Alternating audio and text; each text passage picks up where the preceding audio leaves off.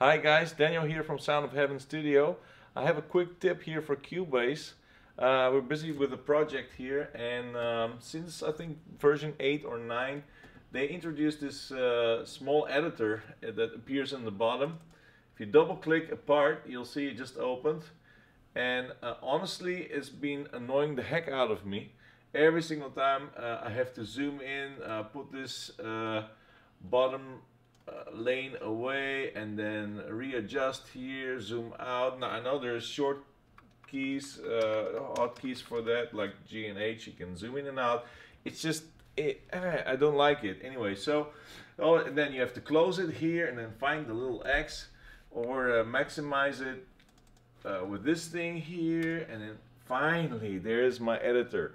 So now, how do you get this default? So I've been looking here. Uh, to, to restore that to the original way it was. So it's very easy to, to uh, change back apparently. You go to file, you go to preferences and then you'll go down to editors. And then there's a little thing as I suspected that says double click opens editor in lower zone. Click that, there's another option double click opens editor in a window.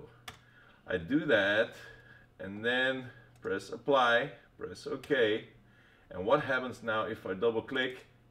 My editor is back. what?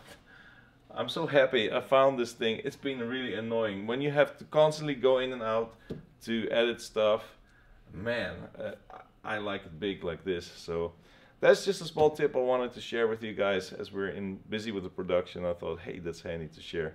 So if you like this, like and subscribe and uh, follow our videos. All right, that's it for now. Bye-bye.